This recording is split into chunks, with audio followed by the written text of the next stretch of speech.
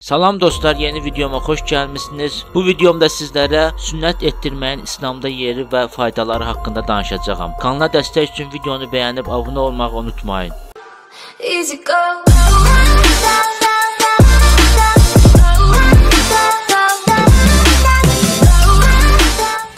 Sünnət etdirməyin İslamda yeri. Sünnət kişi cinsiyyət orqanının başını örtən və qoruyan prepus adlı üstlərinin bir qisminin və ya hamısının kəsilib atılmasıdır. İslamdan əvvəl ərəblərdə həm qadınlar, həm də kişilər sünnət olunurdu. Ərəb dilində kişi sünnətinə xitan, qadın sünnətinə isə haft deyilir. Sünnət olunacaq yer isə əl-xitan adlanır. Bu söz kişi və qadın üçün istifadə olunur. Cahiliyyə dövründə sünnət gigiyenik tələb kimi qəbul edilirdi. Yəni sünnət olmaq təmizlik və gözəllik əlaməti sayılırdı. Buna görə də sünnət kəlməsinin əvəzinə təharət kəlməsi işlədilirdi. Rəvayətə görə ilk dəfə sünnət olunan şəxs İbrahim əleyhissalam olmuşdur. Onun 80 yaşında sünnət olduğu bildirilir. Hadislərdə belə bildirilir. Şübhəsiz ki, ilk qonaq qarşılayan və ilk dəfə sünnət olunan Həzrət İbrahimdir. Bəzi təsvir kitablarında İbrahim əleyhissalamın Quranda bəhsi keçən bəzi kəlmələrlə sınağa çəkilməsi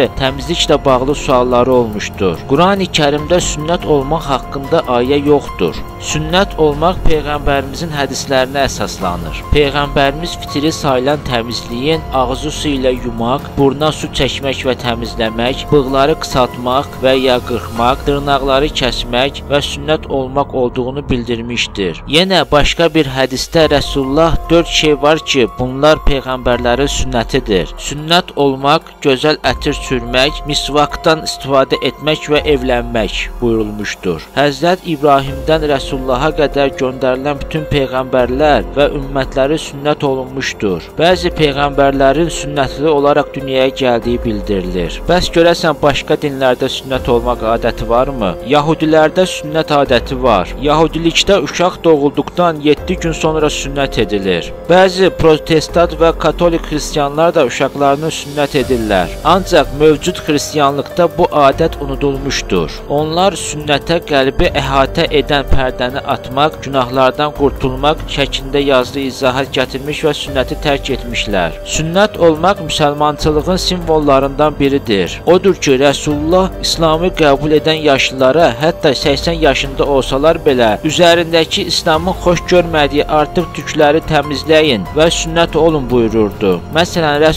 İslamı yeni qəbul edən Üseybin ibn Kəlbin babasına belə demişdir. Üzərindəki küfrün tüklərini qırx və sünnət ol. Dövrümüzdə sünnət müsəlmanlar və yahudilər, Amerika materikinin yerli xalqları, bir çox Afrika qəbilələri və Avstraliyadakı yerli xalq, aborigenlər arasında geniş yayılmışdır. Aparılan araşdırmalara görə ABŞ-da hər 5 kişidən 3-ü sünnət olunmuşdur. Bu 60% insanın sünnət olması deməkdir. Dünyada isə bu rəqəm 15%dir. ABŞ-da hər il 1 milyon 200 min insan sünnət olunur. ABŞ-da sünnət olunan insanların əksəriyyəti dini səbəbdən daha çox sağlamlığa faydalı olduğuna görə sünnət olunurlar. İngiltərədə də uşaqlar ehtiyac olarsa sünnət olunurlar. Hansı yaşda sünnət olunmaq daha yaxşıdır? Sünnət olunmağın hər hansı yaşı yoxdur. Yaş fərqi ərazidən asılı olaraq 7 gündən etibarən 13 yaşına qədər dəyişə bilər. Uşaqları həddi buluq yaşına çatmadan sünnət etmək atanın vəzifəsidir. Rəsulullah nəvələri Həsən və Hüseyni dünyaya gəldikdən sonra 7-ci gün sünnət etdirmişdir. Yaralıların daha tez sağalması, qanamanın az olması və psixoloji travmanın olmaması baxımından bu əməliyyatın 1 yaşa qədər edilməsi məsləhət görülür. Lakin bəzi məqamlar var ki, uşağın sünnət olması onun sağlamlığı üçün təhlükəlidir. Sidik dəliyinin normal yerindən aşağı və yuxarı olması və s. kimi hallar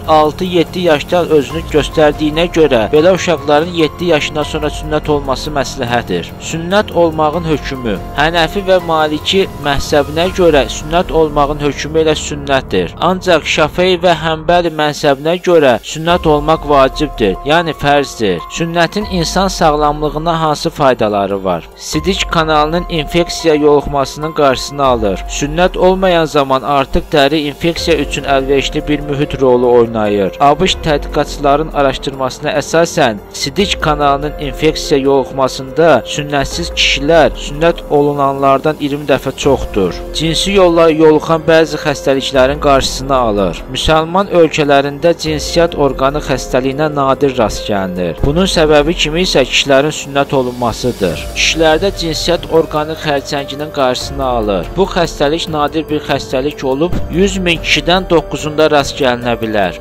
Cinsiyyət orqanının iltihabının qarşısını alır. 2-ci Dünya müharibəsi zamanı körfəzdə döyüşən əsgərlərin burada tez-tez baş verən qum fırtınaları nəticəsində bu problemlə rastlaşdıkları məlumdur. Sünnət olmağın faydaları ilə əlaqədar həkim Spock bunları yazır. Sünnət kişi cinsiyyət orqanının baş hissəsindəki müəyyən dəri qatının kəsilməsidir. Sünnətin sağlamlığa bir çox faydaları var. Kəsilən dəri smegma adlanan ağımtıl maye ifraz edir. Həmin maddə dərinin altında toplanaraq ittihablanma üçün əlverişli şərait yaradır. Sünnət olunduqda isə həmin ittihablanmanın qarşısı alınır. Bəli dostlar, bu videomda da sünnət haqqında bildiklərimi sizinlə paylaşdım. Kanala dəstək üçün videonu bəyənib abunə olmağı unutmayın. Hələlik yeni videomda görüşənədək.